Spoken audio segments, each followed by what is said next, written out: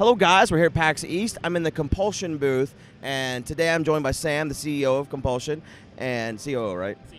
Yeah, right, right. Not the CEO. That's, Uh, yeah, that's another guy, but he's not here yet. He has those perks, you know. Right, right. It's, that's the benefit of you know. I need to start doing that. Anyways, uh, I've, I, I've played Contrast, and I've been watching We Happy Few, which is the game we're going to talk about today, uh, since last year. Ca for anyone that hasn't stalked your website as much as I have, can you basically break down the game and talk about it a little bit? Okay, so super quickly, it is a game set in the 1960s in a dystopian England uh, where everyone is obsessed with happiness.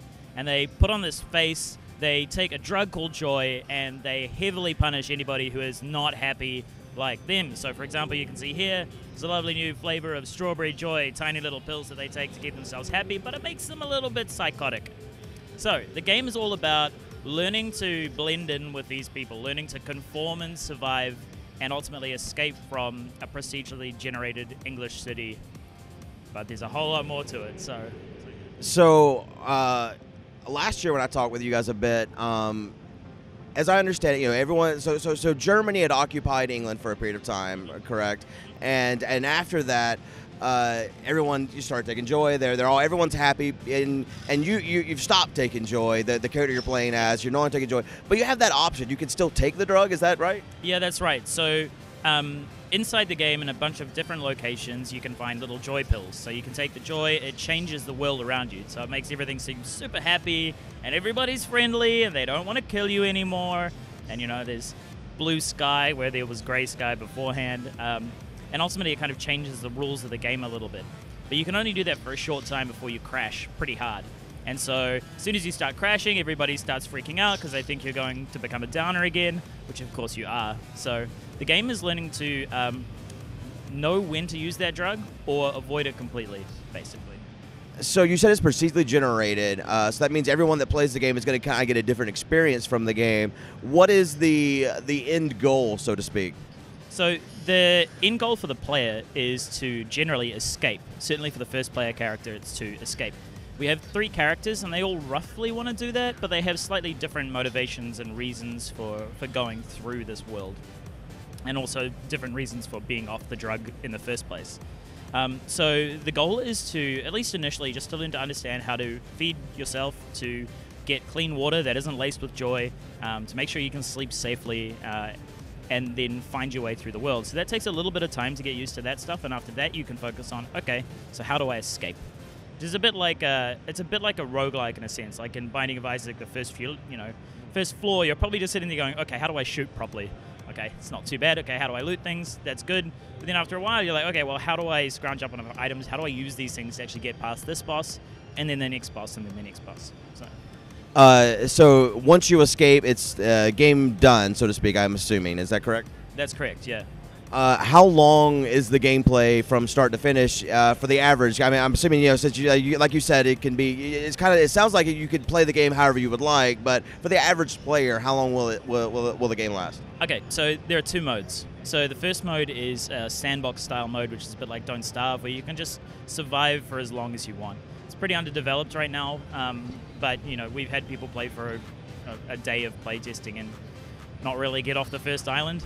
Uh, and the same case is uh, the same for the story mode, sorry, which is we had aimed for between like five and seven hours for a playthrough, but right now we have focus testers in for like an eight-hour day, and they still haven't finished the first island. So, so I can't tell you. We're working on it, but I don't know. So right now it feels like it's too long, and we're trying to shorten it a little bit, but we don't.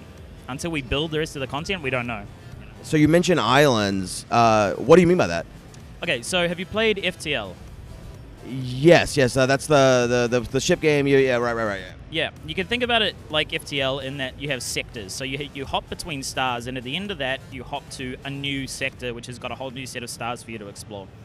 Islands are much like that. You have a whole area to explore, and then there's a bridge at the end of it which has certain challenges.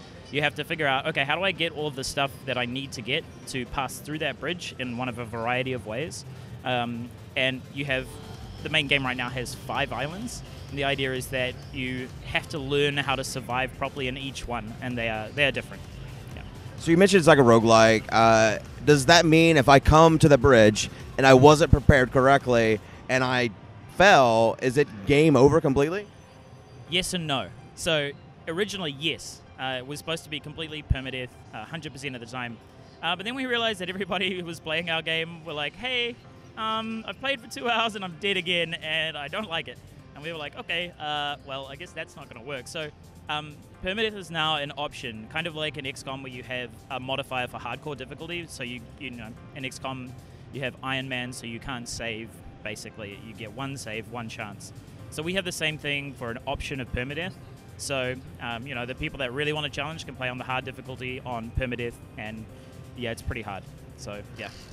What is the what is the art inspired like the the look of the game? What inspired that look? It really reminds me of Bioshock. I don't know if I'm the only one that says that, but it's the only thing I don't. And maybe that's what gravitates me towards the game. Is that just me or?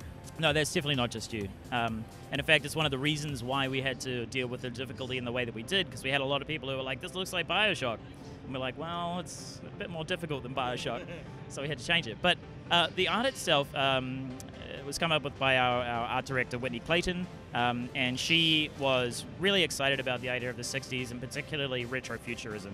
She feels like '60s is this great period where they had so much optimism and hope for the future, and they made these ridiculous things, you know, these chairs that were super uncomfortable but looked so space age. right. And, you know, we have a whole bunch of things in the booth here actually, which are like these old 60s pieces that we actually bought from a kitsch store to bring to PAX. Um, and they look totally unfunctional, but, you know, they look cool.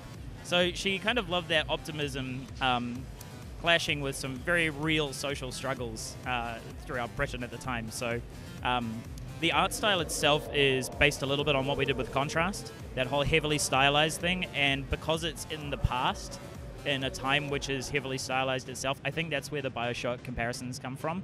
Um, but also, people see the masks and, and just like, yeah, it looks like Bioshock. So, right, I guess it's the mask too. Yeah, it brings you back to Rapture. Um, so uh, you're showing the game on an Xbox. Is it uh, is it going to be uh, like what what platforms is, it, is the game going to be available on? So uh, we're starting out in Steam on Steam on early access and on Xbox One on the game preview program. Um, so we haven't announced a release date for that yet, but it's it's coming up reasonably soonish. Uh, we're basically just making sure that the game is really 100% as we want it to be for that that that you know initial launch. Um, so those are the, the two initial platforms. Uh, we've also announced Mac and Linux. Uh, but we want to make sure that uh, we're really building the game properly. And then once we've got the 1.0 launch, which will have all of the narrative story um, launching at the same time, uh, we'll be working on the Mac and Linux versions as well. Yeah. And then after that, obviously, I cannot possibly say. I, I, uh, you recently did a Kickstarter. Uh, what all? I'm assuming that did really well because uh, the game is it looks amazing. Um, what all did you offer with that? I'm just curious.